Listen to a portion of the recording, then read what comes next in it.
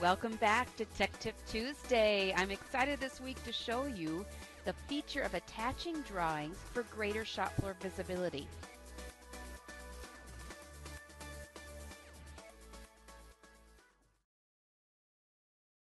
I'm sure you've heard the terminology going paperless in your shop. This functionality will get you the first step in that right direction. When you're working today and creating your orders in JobBOSS, you're printing out multiple travelers that are ultimately going to go to the shop floor. Along with those travelers, you're also attaching drawings or needing to print out drawings so that your employees know those specifications that need to be met for those parts. Once you bundle that all together, it's a packet that goes out to the shop floor. Well, as you know, many things can happen with those packets, right? For example, a situation could arise where you need to split the job and now we need to share the paperwork. Or perhaps the traveler or a drawing get misplaced. Ah, sometimes we get a little grease on the traveler or a drawing gets ripped or something like that.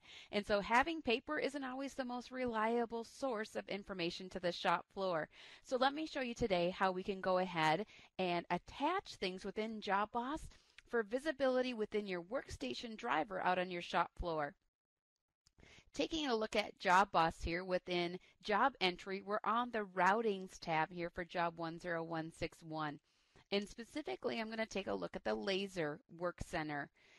On the left-hand side here, we have the note, where of course, when we open it up, we have uh, documentation that we can send and print out on that traveler um, for this particular work center and what work needs to be done. But also at the top of the screen, you have the Attachments tab.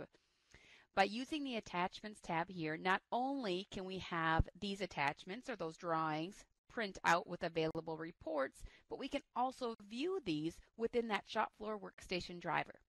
So just a reminder how to add attachments in here. I'll click the white sheet of paper at the top and we can browse to select the file that I want to put in here.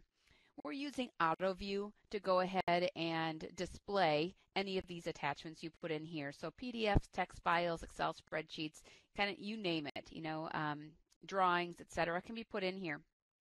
I'm going to go ahead and select the PDF that's a drawing um, for this particular part, and I'm going to describe that here as drawing. And you'll see down below here, when I tab off, it just describes that path. So as you get many different documents down below here, it's nice to have that description for where that file path actually goes and what it does. So once I'm done with that, I'm going to go ahead and close out of here and save that. Once you save that job and that attachment, I'm now going to jump on over to Data Collection and Workstation Driver. Here I'll log in as Bill today. And once you get logged in, through data collection, I can go ahead and enter in the job number that I'm inquiring about. So perhaps I'm looking to see that drawing that we just did, but I don't have the traveler in front of me and I want to view it here within the application. Enter in your job number, click View Job, and then you'll find all of the details, very similar to what you normally see on the traveler, show here on the screen. So we have our routings, we have our materials, our picks, or our buys. Specifically with those routings, we were focused on the laser work center um, back under that job entry screen. So if I click on laser now, you can see I have two other icons illuminate here within this job details. I can click on instructions and see the printed out instructions that I had typed in. But more importantly, drawings. So under the drawings, there you see um, the three attachments that I have, the inspection forms, specifications, and then that drawing that I had attached and shown you.